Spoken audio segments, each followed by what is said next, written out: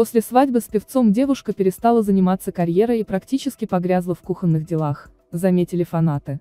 Альбина стала разлучницей, женщину увела женатого Меладзе из семьи. После бракосочетания с певцом, Джанабаева начала заниматься семьей, рожать детей и сидеть на кухне.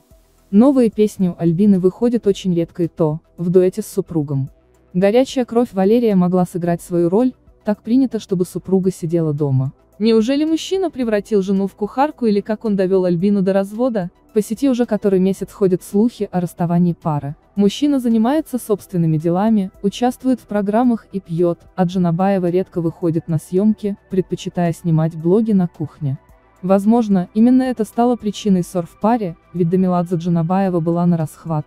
Девушка участвовала в съемах клипов, ее звали на модные показы и фестивали со всеми звездами. В тени мужа Джанабаева, видимо, забыла о своей карьере.